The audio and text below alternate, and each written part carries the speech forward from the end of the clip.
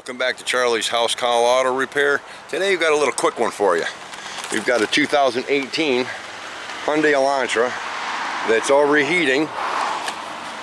And this is the second time I've been up here for this vehicle. There is a hose way down in here that uh, loops back around that was leaking.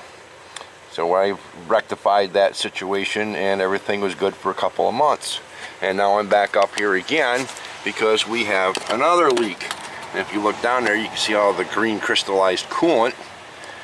Um, and if you look at the top of that hose, it's wet right there. The reason I'm bringing you guys along for this is because I wanted you to see this. This should be a recall. Watch very carefully. This is a plastic coated metal tube that runs from the back of the engine. Watch very carefully.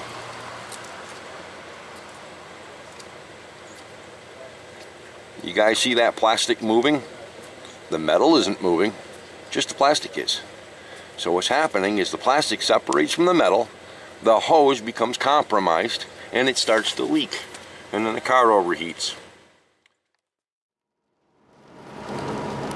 And just so I don't leave you guys hanging, the, uh, the fix was removing the hoses from the metal tubing trimming back and removing the plastic coating from the tubing and from the inside of the rubber lines and then putting them back on and reusing the clamps. No, no parts required.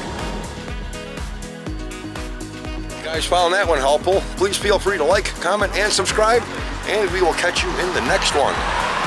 Oh, by the way, don't forget, you got no more excuses.